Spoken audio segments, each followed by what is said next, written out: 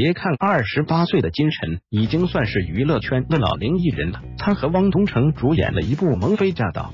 仍是能唤起不少粉丝的少女心，能把一本正经的胡说八道演绎的这么讨人喜欢，真是少不了金晨这呆萌又精致的五官。不过，比她的容貌更引人瞩目的是她的身材，几乎已经称不上苗条，而是干瘦了。这纸片人身材真是让人甘拜下风啊！近日，金晨这么紧的裤子也硬塞，上衣露一下裤露腰中线失手，网友厉害，上身一件红白横条纹。字母印花露腰短袖 T 恤，红白配色把她的气质衬得清新又活泼，满满的鲜活感官拼接成的横条纹，在极简的设计感中不失跳跃的灵动感，完美的体现出了她的青春活力。黑色的字母印花更是为她带去了丰富的色彩碰撞和视觉效果，顿时就让她有着潮人的时髦范儿。不过高高的露腰款式。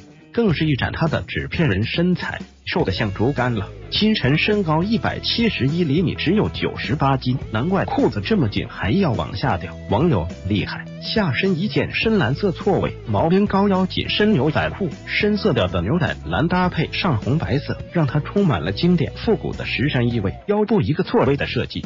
让它充满了不规则的时髦气息，不过远远看去，仿佛松松垮垮的，一点也没被它的腰挂住。侧边还有一个开口的设计，更是产生一种裤子往下掉的视觉效果。这么穿还是让它有点尴尬。哈，脚上一双白色格子拼接尖头搭扣穆勒鞋，尖头款式的鞋子搭配在九分裤下面。可以更加在视觉上拉伸小腿线条，让一百七十一厘米的她仿佛拥有着一百九十厘米身高的大长腿。银色的搭扣为她独添一份低调但不失格调的时髦感。穆勒鞋的款式更是衬出了她那股慵懒又优雅的气质，女人味十足。手拎一个蓝色不规则拼色包袋，深浅不同的蓝色系以不规则的三角形。拼接出无序的纹饰，顿时就让她有着经典又高级的时尚风度，很好的衬出了她优雅知性的女性气息。头戴一顶黑色渔夫帽，宽檐款式十分减龄，让她看起来特别稚嫩可爱。再加上一个金丝框眼镜，更是显得她斯斯文文、活脱脱一个文雅的小姑娘。别看金晨的长相看起来文文弱弱、